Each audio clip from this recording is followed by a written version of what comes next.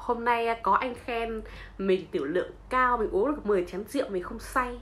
Nhưng bây giờ mình bật mí cho mọi người cái bí quyết nhá. Đó là trước khi đi uống rượu á mình đã uống một cốc diệp lục đặc ấm.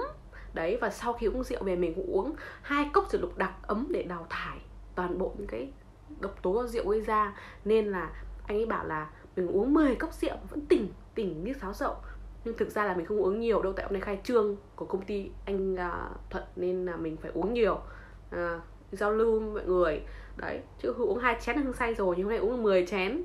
Tất cả là nhờ diệp lục đi cả nhà cả nhà không tin cứ thử đi. Uống diệp lục đặc ấm trước khi uống rượu và sau khi uống rượu sẽ không bị say và không bị đau đầu.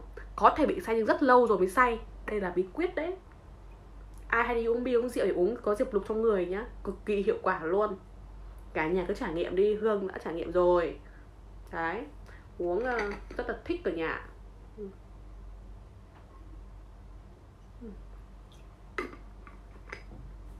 Chúc cả nhà ngủ ngon. Uống diệp lục đặc ấm trước khi đi ngủ ấy cả nhà ngủ sẽ rất ngon. Bye bye.